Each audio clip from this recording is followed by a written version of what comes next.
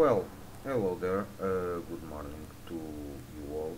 So this will now be my review for Bleach 569, uh, entitled "The White Ace." And basically, this was a very, very um, good chapter for me, and it kind of um, confirms in a way um, what I did say on the last uh, video that uh, in a way Byakuya and Rukia kind of uh, teamed up in a way. And but eventually Rukia was the apparently was the one that finished off um, As Nödt at the end of the chapter so, well, the first part of the chapter, basically we have the entrance of uh, Byakuya, and basically um, he kinda, supposedly, um, um, he kinda fell prey to the powers of As Nödt, uh, and at the same time he was kinda encouraging Rukia and uh, he did say that he acknowledges uh, her strength, her, her power and so on. Uh, but at the same time uh, we have another, uh, let's say, long uh, speech between As Nödt and Byakuya.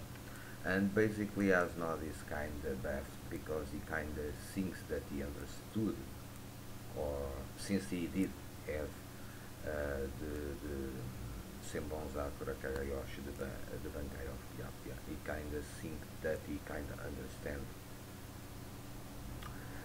uh, the power of Byakuya and he goes assuming As Nödt that uh, what the power that Byakuya is using is is on Bankai but eventually Byakuya kind of tells that the power that he is being using so at this point is only his Shikai uh, Senbon Zakura and at the same time he kind of thinks um, As Nödt because he, because of losing his power he was kind of apparently able to reconnect himself with his Zanpakuto and with his power.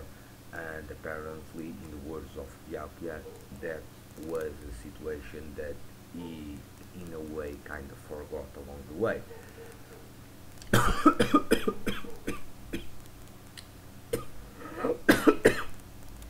Uh, sorry. But then at the same time he kind of speak with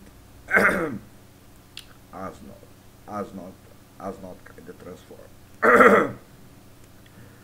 Kind of transform. Kind of transformed and Byakuya uh, spe speaking with Rukia uh, he kind of um, encourage her and say to Asno that he was not the one that will finish Asno off but it will be Rukia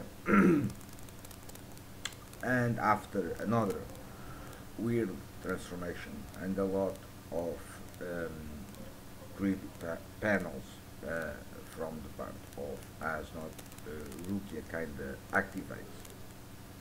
His Bankai. Uh, and kinda apparently she kinda blows uh, As Nödt away uh, like a nuke of ice in a way. Uh, so that was interesting and we are all expecting uh, that uh, Rukia become a lot of stronger and probably did have achieved uh, Bankai and I'm, I'm happy that uh, um, Kubo kinda I hope that maybe this could be the end of the fighting but I do hope that uh, if so finally Kubo did not troll um, Rukia too much and eventually also show us um, Bankai. So if that's the case, um, and if this battle is wrapped up at this point, um, I will be quite pleased by that. Um, even if Rukia um, does not fight another strong Stern Ritter in the future, or she could fight another Stern Ritters, but uh, the fact that if this is indeed the end of As Nödt, by the ends and by the powers of Rukia, um, I will be quite pleased by that because I I'm a, a huge a huge fan of Rukia through all the series, and I always was kinda depressed by the way that apparently Kubo treated her as a character in the story, and yes, it's true that all the most of the fights they were uh, uh, lost or loses, but she was always through all the series uh, element of uh, balance to Ichigo himself. So as their her battle powers, I was always baffled, how uh, kind of Kubo kind of mistreated her. So that was quite a bother. But I think that in this chapter he kind of did show us uh, the result of the full, uh, or at least the great part of the training that she did in the royal palaces. Uh, she becomes a lot more stronger than she was before. Uh, even uh, Byakuya acknowledges that, so it kind of it confirm confirms the situation. But at the same time, we have another point that is the power of Byakuya. And if he was able to inflict so much damage, because he did it, on As Nödt without even using his new Bankai form, um, the level of power of Byakuya clearly, apparently, surpassed uh, the training of uh, Renji and Rukia. But that obviously makes sense because Byakuya was already an excellent fighter. Uh, and um, uh, Shinigami that owned uh, his skill since he was young. He's, he's a battle hardened guy, so it's make a lot more sense. And he is a lot more older than Renji and Rukia. So it kind of makes sense that uh, after he goes to the Royal Palace and train also in the Royal Palaces, he will become even more stronger. Uh, I don't think that he could match uh, the power of uh, Ichigo. I don't honestly think. First, Ichigo is the main character. Second, um, his dual heritage as a considered Shinigami and Hollow and such um, puts Ichigo in a complete different level.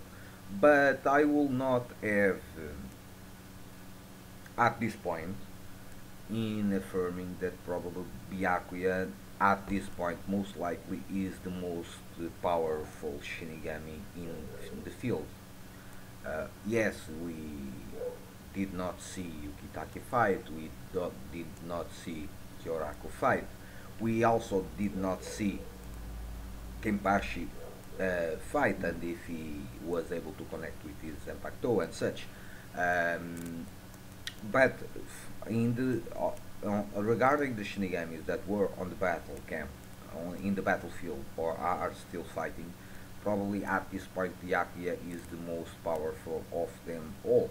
And I will could risk to say that after his training in the royal palaces, probably he, he is one of the most powerful Shinigamis that there is. So that will that uh, will be interesting to see uh, what fight Byakuya will have in the future because if he if he only used his Shikai power uh, to inflict a lot of damage in into As Nödt and if As Nödt is dead um, I assume that uh, Byakuya will have to fight another Stern Ritter probably a powerful one. I think that uh, from the top Stern Ritters there are still I think it's Stern Ritter C that we do not know so far. So I will guess that probably this guy, the Stern Ritter uh, uh, with letter C, probably could be the guy that eventually will have the great battle with Byakuya and where Kubo will show us uh, the new Bankai form of Byakuya. But this is a wild guess and probably this only will happen in the very, very, very long future.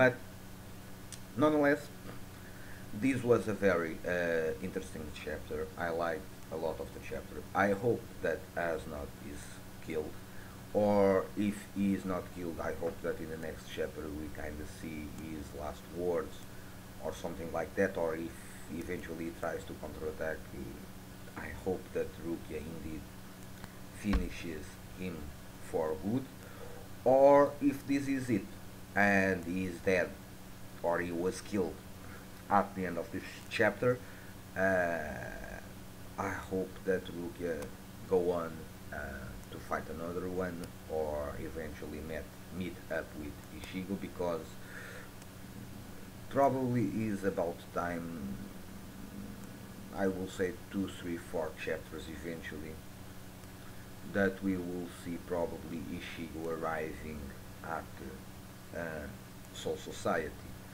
Mm, I risk that uh, prediction. It could be completely wrong, but I risk that. But even if we do see Ichigo arriving at the, um,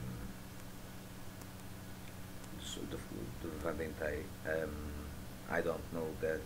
I don't. I doubt that he will be fighting uh, right away. Um, eventually, if he is going to fight, probably could meet Uryu that will be interesting but at the same time I also wanted to see uh, in the next chapters um, what's going on with for instance uh, Kenpachi. Um, did he was able to connect himself with his Zanpakuto. Did he learn something not uh, or to see what the Shibas are up to or where is the Arrancar army that Urahara um, assembled in uh, um, or uh, eventually we could see if As Nödt is in, the, in fact dead we could see some reaction on the part of Jua or Archibald or some other Stern Ritter uh, regarding his demise uh, and learn a little more about the Stern Ritters and their past and something like that, maybe. Uh, but that's it. So this is my review for Bleach 569. Hope you enjoy. Stay well. Peace and see you soon.